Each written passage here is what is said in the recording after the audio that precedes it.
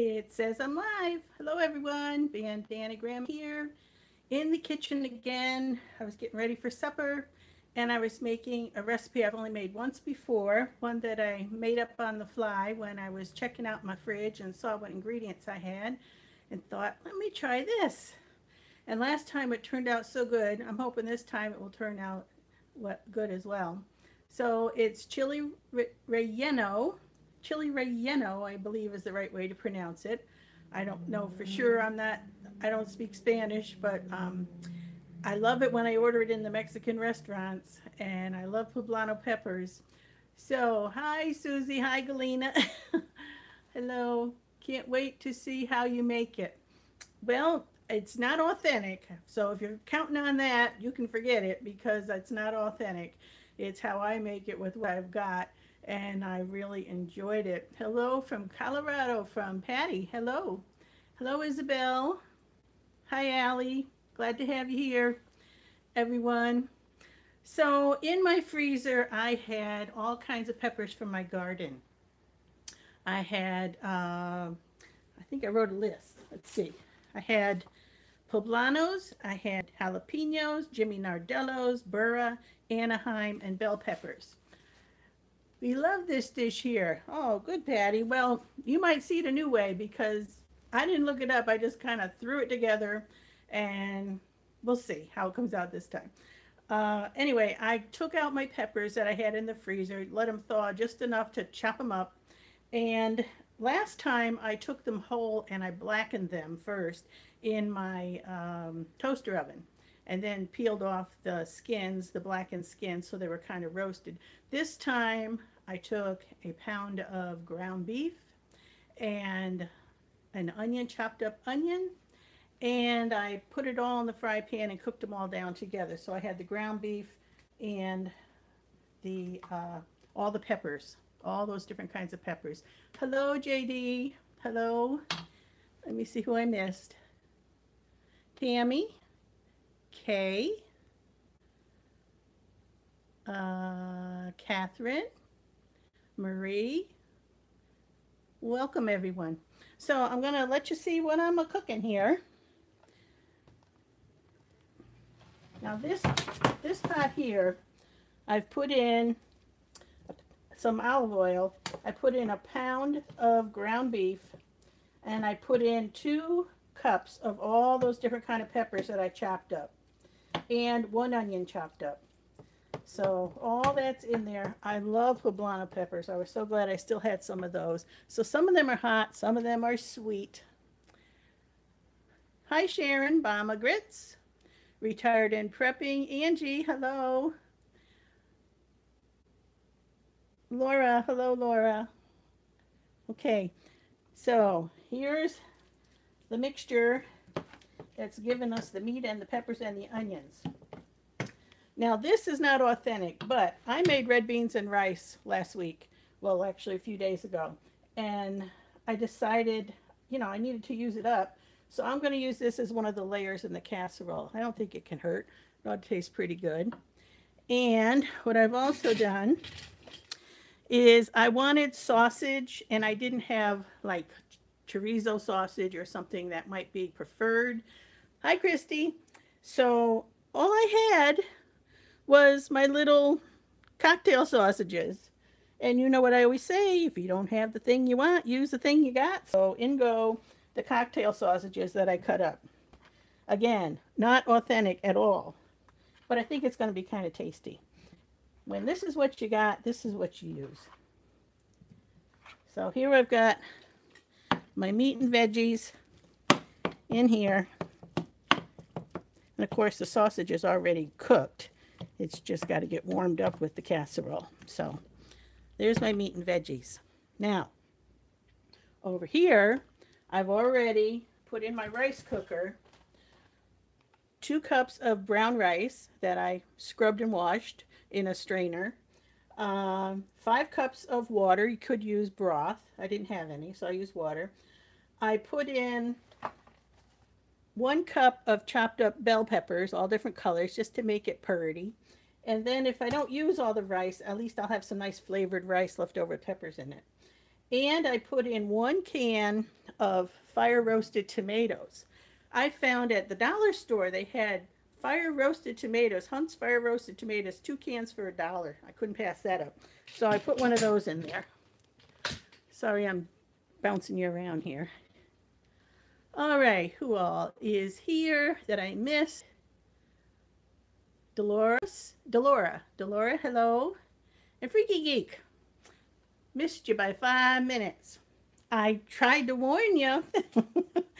so, alrighty, so this is what I'm going to do. This is going to be like the quickest recipe you ever saw because I already got some of it done with browning up the meat and getting the rice done. The rice is ready to go. Hello, Barb. Thanks for coming. All right, so what I'm going to do is I got my bowl here. And I'm going to be making the casserole in this bowl. But I'm also going to put in some egg and milk mixture. Because, you know, when you make chili relleno, re, there I go again. I can't say it. Chili relleno, relleno. You um, dip it in egg and bread it and cook it. So I'm going to mix up a couple of eggs and add, where'd it go? Add about a half a cup. I'm going to put condensed milk in.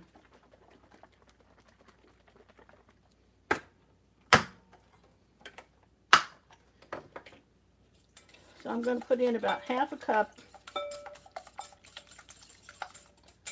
Two eggs, I'll put in a cup there. Condensed milk and eggs.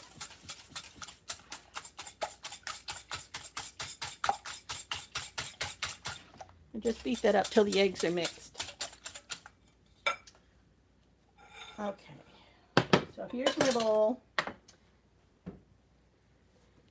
Gonna put oil in it.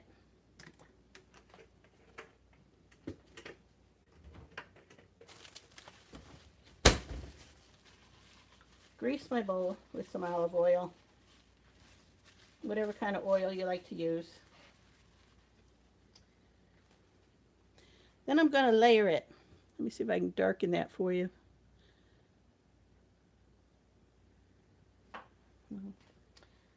All right, now I want to layer it. So I think I'm going to put a little bit of the sauce on the bottom. So that would be my red beans and rice sauce.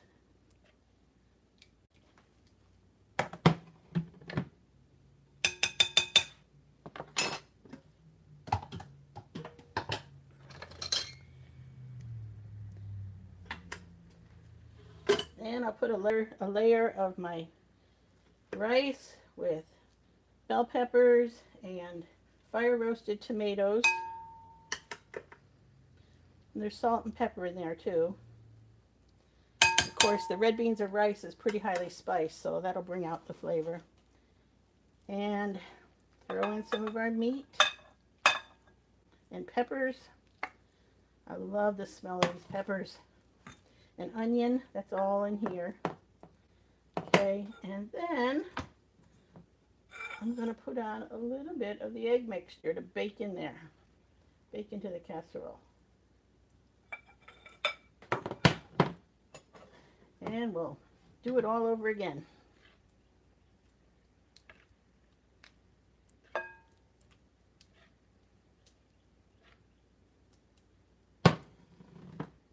Here's my red beans, highly spiced red beans. I don't remember which order I did. I think the rice was next. Not that it matters. When you cut into it, you're going to just bring it all up mixed anyway when you scoop it out. Fire roasted tomatoes, tricolored peppers. These are all the sweet ones in here in the rice. Salt and pepper.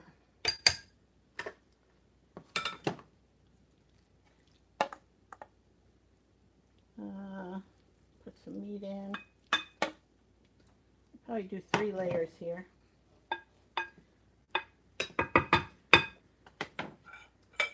A little more of the egg mixture.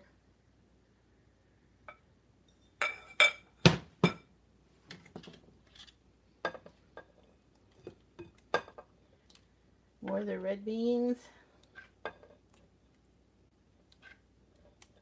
Good way to use them up, huh? Give them a totally different flavor. Because they got meat in them now. Before it's just red beans and rice. Now it's got meat and all those strong pepper flavors. Roasted type peppers.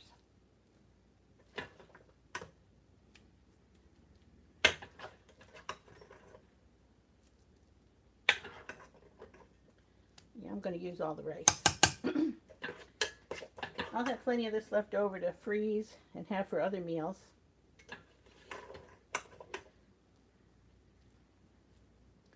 So this is just an idea of what you can do with your leftovers and your what you got in your fridge when you can't quite think of what to make and you might have these ingredients on hand. I didn't have the right kind of peppers and everything for an authentic recipe, but fudge it a little bit. Play with it. I think you can come up with something delicious.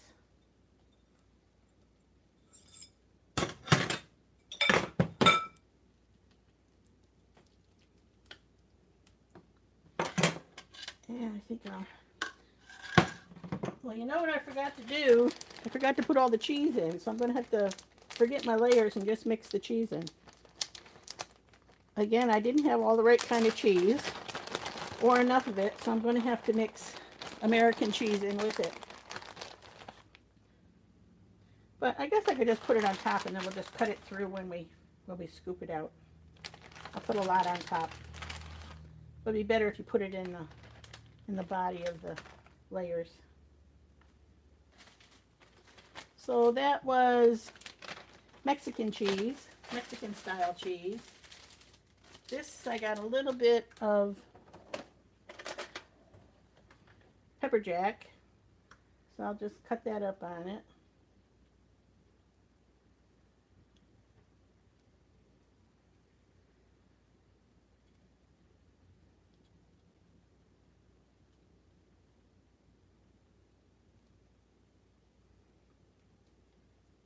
You probably want four to eight ounces of cheese for a big bowl if you're going to save some. Okay. And I think I will kind of put that down inside, mix it in a little.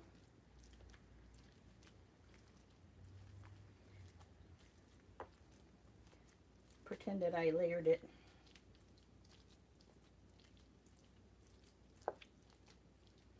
Oh, this pepper smells so good poblano and Anaheim and jalapeno, bell peppers, lots and lots of them. All right, and just because you can never have too much cheese, this is definitely not authentic, but this is what I've got. I'll just put some American on top. Of course, you can use the cheese you have.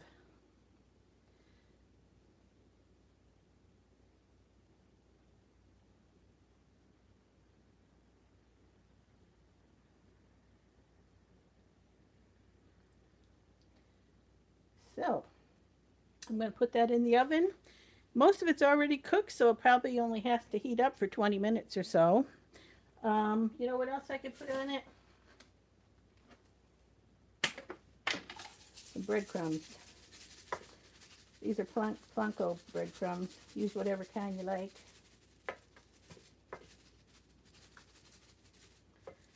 There we go. Chili relleno casserole made from what you got on hand. And we'll stick it in the oven.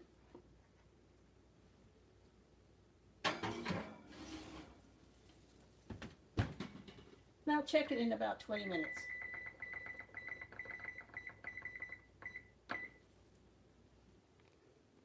Okay, that was fast, huh? All right, let's see. Yeah, deconstructed is right. Yeah, I did. I, you know, we raised seven kids. I don't know how to cook small, so I end up freezing stuff. And then when the kids come over, we have we have uh, leftovers in the freezer to thaw out. And my husband can take some to work. All right, let me get back to where we were. Okay, with comments. Okay, Freaky Geek said that first warning helped to get get him here. Out of Goshen. Wait, are we making Rianos? I love Rianos. It's a deconstructed Riano and definitely not authentic. Bandana Grandma's version, clean out the fridge Royano, Royanos.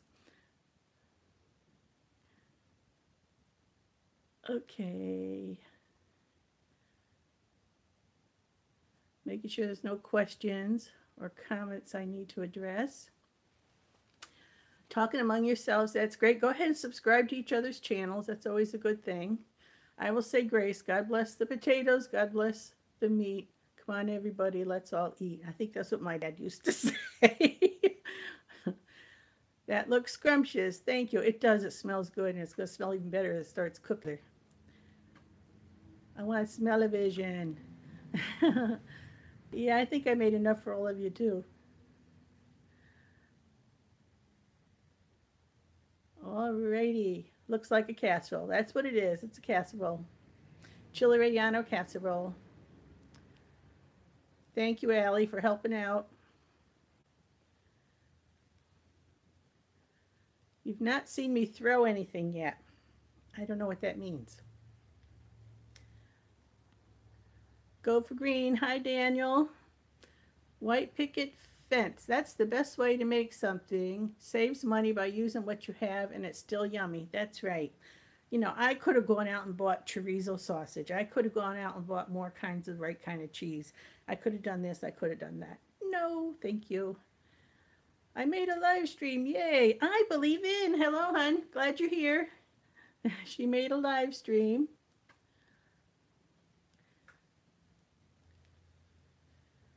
Oh, sure. Casserole's in the title. Silly me. Yes, it is. I tried to warn you. You should rename it to Northern Rellenos. You girl.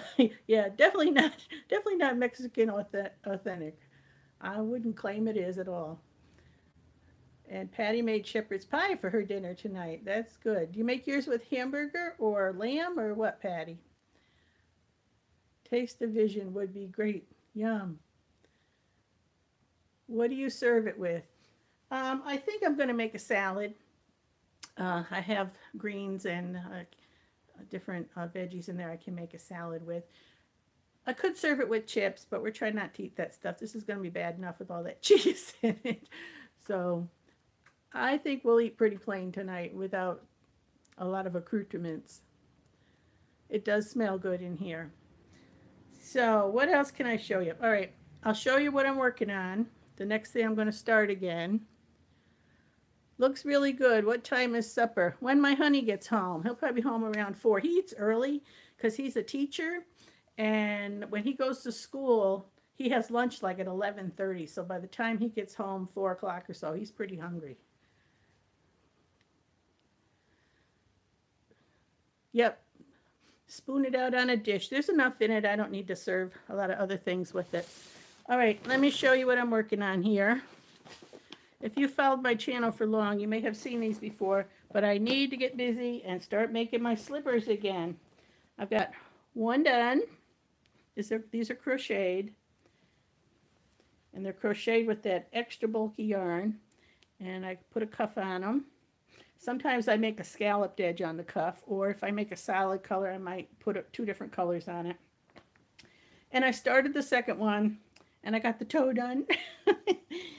and I need to get busy. So this has been done for months and months, so I need to pick them up and get them going again because I think my uh, mittens are slowing down some. I've got a lot of stuff to make with them, and I am going to keep making them because I'm going to have a table at the um, I'm going to have a table at the Homesteaders of America conference in October, and I'll be selling all my wares there. So I need to stock up and have inventory to do that. Thank you. I like those slippers too. They're this this yarn is so cushy, and so these are really comfortable to walk in. well, I could use two pairs of those slippers. But when I get them going again, I'll put them up and how much I charge them. And if you want to order some, you can do that. Whoever gets that one slipper will have toasty toes and a chilled heel. Yes, they will. Only has the toes done. Sell the slippers to us. I will. I will when I get them going again. I still got to finish up some mittens and then get my slippers going and my ponchos going. And I'm going to be making aprons. So this back to my my mittens again. I'll show you what I've got. I've got some that are ready to sell. And if they don't sell, they're just going to go in inventory and I'm going to bring them to the Homesteaders Conference next October. So,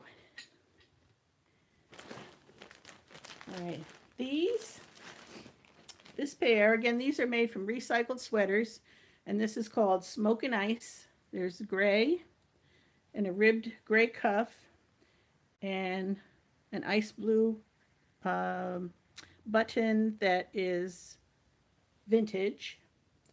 So this pair is called Smoke and Ice. If you want to see, that's how they fit. There's plenty of stretch. So some of these will fit men and women because there's good stretch in them. And this pair is called Partridge.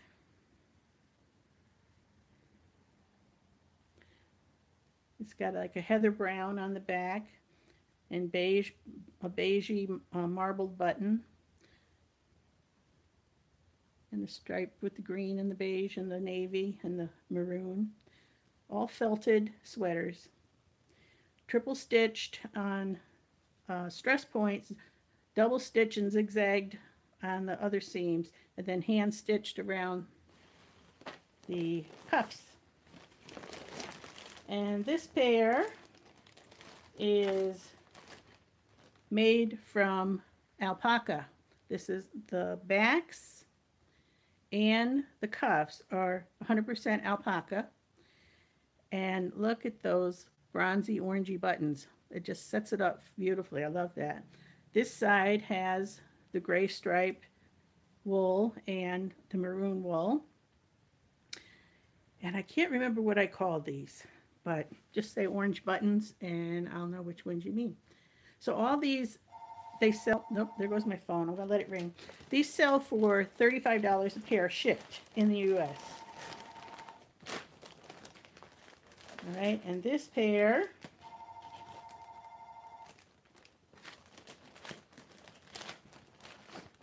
this pair is called Majestic. It has metal buttons with crowns on them. It has fleur-de-lis on the gray backs. It has cable knit royal red on the fronts with a beigey brown there. And again, the, the gray coming around with the ribbed cuffs coming around like that. So those are called Majestic. And I got two more pair for sale yet. And I'll be making more. All right, these are called Crimson Snowfall. And they're a blue heather here with the seed stitch through them. Looks kind of like snowflakes. And it's got a blue button and the maroon palm on the top and the and the same uh, snowfall on the bottom of the palm and then the maroon cuff there. So those are called Scarlet Snowfall. And the last pair, I named these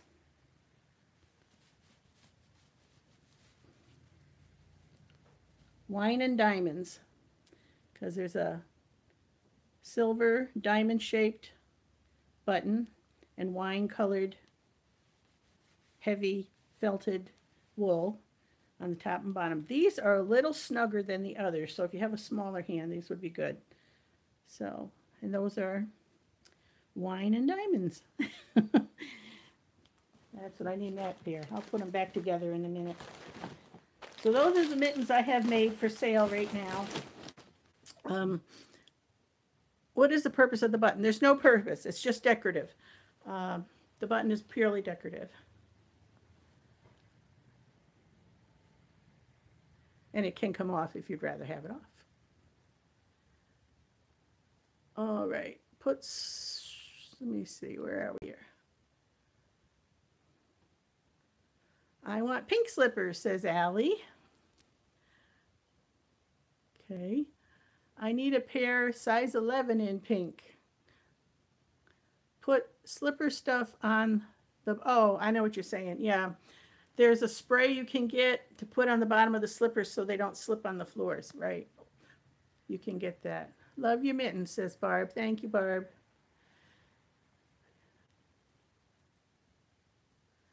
Uh, where did you get the pattern for the slippers? It's a combination of patterns. I had seen some on the internet and they didn't make up right for me. I didn't like how they had measured them out. I didn't like that they didn't show where to start and stop the stitching. So I've got my own pattern. I kind of blended several together. And uh, I think eventually I'm going to post it so if anybody wants to use it, they can. I just need to uh, find a way to scan it into my uh, computer. Uh, partridge is beautiful. Thank you, Patty. I've got more of that, that stripe too, so I can make other mittens. Thank you. Yes, I made the slippers. Uh, the slipper pat, if you're asking about a slipper pattern, that too, my sister and I kind of worked it out. Uh, there was a slipper pattern that was similar, but it used a different kind of yarn. And we wanted to use this really bulky yarn because it's so cushy. And you couldn't use the same count if you're using the big bulky yarn. So Jody helped me figure out how to uh, remake the pattern. And then I put my own cuff on it. And Jody puts a different kind of cuff on hers. My sister Jody also makes these. Okay.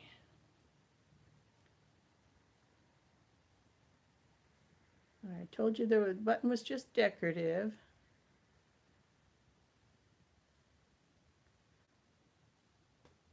I sew on shower strips on mine. Shower strips. Hmm. You mean the kind you put in a tub?